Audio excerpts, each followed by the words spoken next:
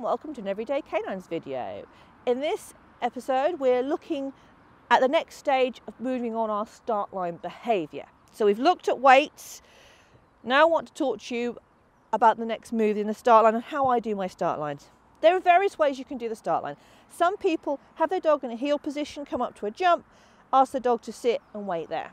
How I do mine is I ask my dog to come through my legs and sit between my legs and facing wherever I want them to face. The reason for this is I can position myself at the jump exactly where I want my dog to be looking. So you imagine there's a line from my eyes going down to the ground where my dog is looking. I know where my dog is looking apart from the fact that I'm taller. So say I want my dog to jump over this jump and go over to that tunnel over there. I would look and I'd say, right, this is the best line to set my dog up on. So if I stand here and ask them to come into the wait position, I know they are going to be looking at pretty much what I'm looking at. So that's why I do this position. It is slightly more complicated than doing the heel work. Because if you suppose you've got your heel work and you just ask your dog to come in, good girl, sit. That is relatively straightforward to teach. Good girl. But did you notice that as she came in, she wasn't as neat. She was a bit, mm, and I couldn't say for certain where she was facing. She was, she could go a bit wonky. Whereas if I do something like this with my legs, can you go start? Okay, girlie, start. Aye, good girl. Do you see how much straighter I can make sure she is? Good girl. Good girl. Okay, search. But as I say, that behaviour is a little bit more complicated. The reason being is several elements. Element one is I'm asking my dog to go behind me. Good girl. Now, think about it. When you're doing a lot of your training, your dog is in front of you. So to ask, okay, I think we know to go behind me. Good girl. Break. So, yeah we figured this one out. Um, so we do a lot of stuff with our dog facing us. So there's a lot of value for our dog looking at our face. okay, I can see what we're doing now. Okay. I'm just going to step off her, good girl, and just close my legs. right. So when we begin, good girl, we do a lot of stuff with our dog sitting and looking at us. So there's a lot of value. It's on my hand, my love. Magpie, say hello. Good girl. There's a lot of value for being in front of us, facing us. Asking us to, the dog to go behind us, it's, it's slightly unnatural if you think about it. The dog is breaking eye contact, going behind, and they go, hmm, not sure about that, not sure about that. So that's element one, getting your dog to go behind you. Element two is having your dog go between your legs. And the reason is this is tricky is that it's an element of trust. Some dogs find it very worrying to be that close to you. As a, you know, my Sheltie Merlin, he took a long while to get used to that idea because he didn't like being just that much closeness around. He always liked to have space around him. So being that close to me, to him was a little bit, mm, I don't like that. So again, that's element two. Next element, once they're in there, is the sit. Or if you can, obviously if you want a down, could be a stand, but usually it's a sit or down. So that's the position the dog's got to go into. Element four is the fact that your dog has got to remain in that position while you lift your leg and move away from them either to the left, sorry, to the right or to the left. And if we want to say element six, well, element five, then that's when we move away. So our dog has got to hold that position and move away. But we'll concentrate on these elements first. So you need to train each of these pieces separately and build them up into together to the picture. So when I started with Magpie, as I say, it wasn't straightforward for her to go behind me. So what I did is I lured, I had a treat, and then as she came here, I dropped it forward. So she came through my legs. And we did that game a few times. You ready? Get it. There's there. Just just played with that. Good girl. And sometimes I would, I'd usually I'd just throw it on the floor, but sometimes I'd have some in my hand. So as she came through, I just rewarded it. Do that again. Good girl. I mean, obviously she's got the hang of this one. It can take a while.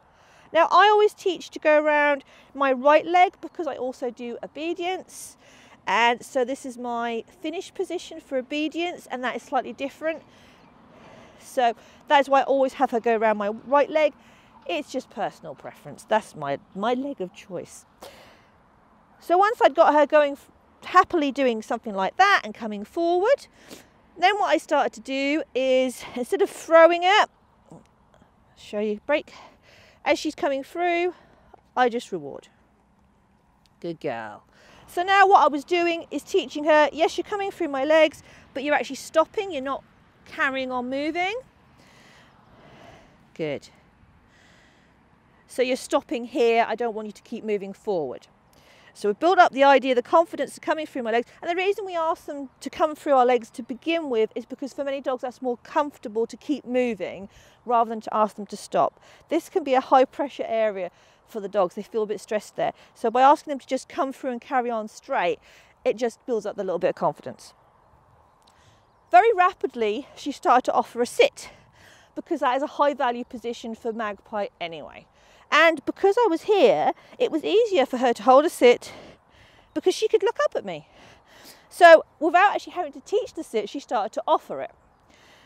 Good girl. Now, if you wanted a down, you would obviously have had to have taught her down separately. And this is where it can get a little bit tricky. With the sit, as I say, it's kind of a position that it, you can shape them into.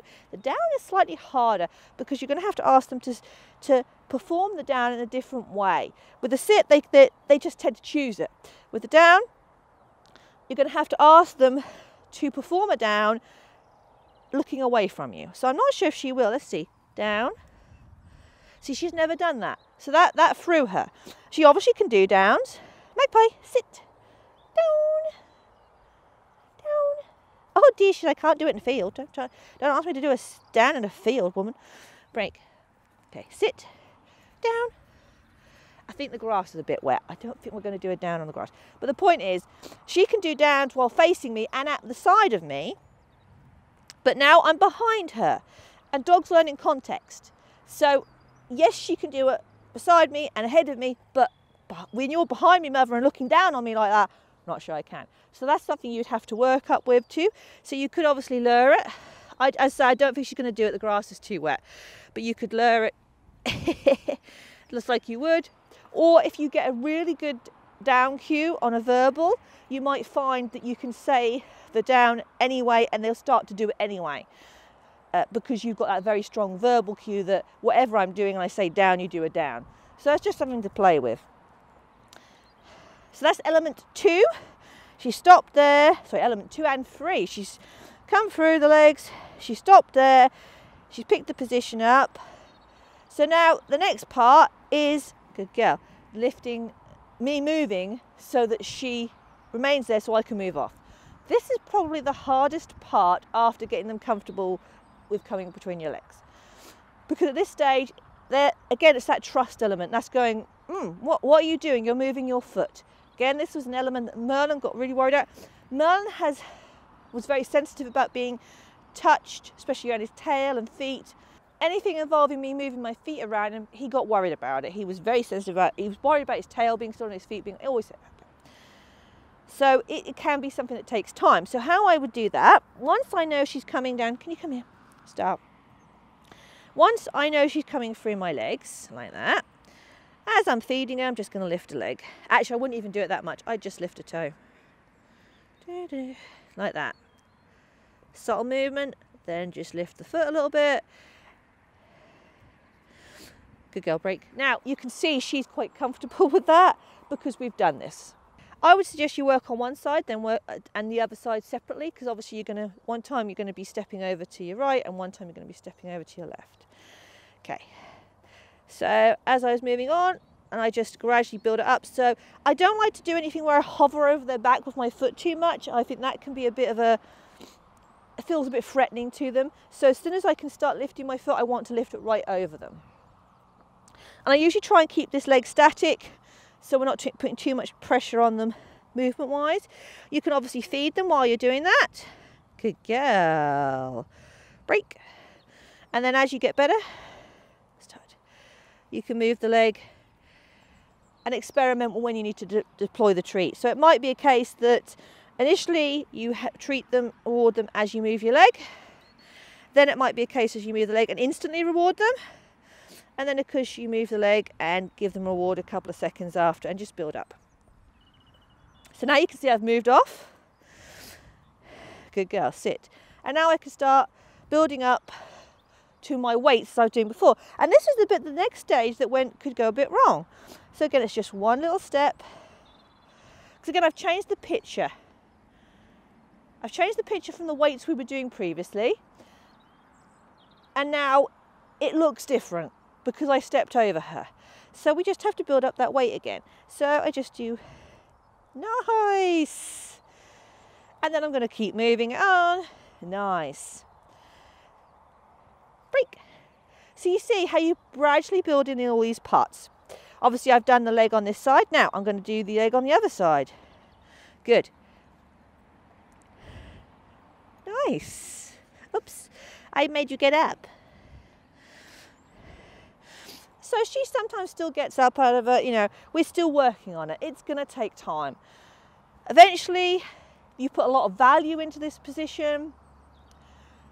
You're going to have a dog that's quite happy to do this, will offer it anytime you want, and is going to be really solid in it. It is something you need to continually reward through their lives, I believe. I think this is something you really need to put value into. Just do it in your living room and keep doing that. Last thing I want to talk to you about is gestures. With her, I'm using start as my word. Some people use legs, legs, but start for me is what I've always used. And I use this hand signal because this was the hand signal I did when I was learning. So start, good girl. That was the hand signal, so she's used to that. With some of my other dogs, I tap my leg. Okay, break. But for her, good girl, start. The hand gesture back, just the flick there works. Good girl, break.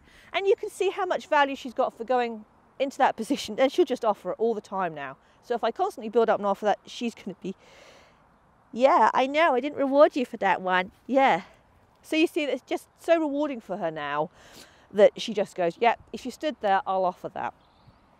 So that's your next stage in your start lines to put in that positional work. And this is all baby stages, doing it very quietly, building it on. And as we progress, obviously we'll look at things taking it to the next level. But I hope that all makes sense and I hope you enjoy teaching this with your dog. And if you've enjoyed this video, you might like to subscribe to the YouTube channel and you can check us out on Facebook and Instagram. And I hope to see you all again very, very soon.